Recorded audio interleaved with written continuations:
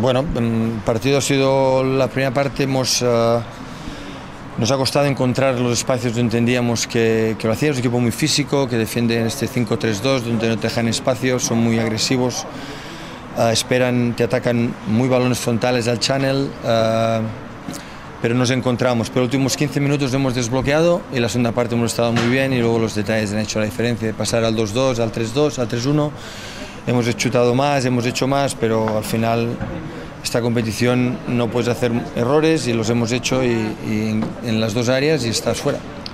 Ya, pues parte del juego, son humanos, jugamos, eh, esta competición es muy exigente, los jugadores, los contrarios tienen mucho nivel y además a un partido y, y, hace que sea, que, sean, que sea difícil, pero es parte del juego, sí, no, no, no, hay, no hay más que entenderlo, intentarlo otra vez. So, el fútbol te dan otras oportunidades, estamos por la buena fase de clasificación que hemos hecho, dejando fuera, la, bueno, el Atalanta se metió, ya hemos visto lo que es, el Shakhtar que es semifinalista de Europa League, al Madrid que lo eliminamos, pero esta competición a un partido eh, tiene sus ventajas, sus inconvenientes. Eh, ¿Qué significa? Intentarlo otra vez. A veces hay clubes que necesitan romper una barrera que se nos está...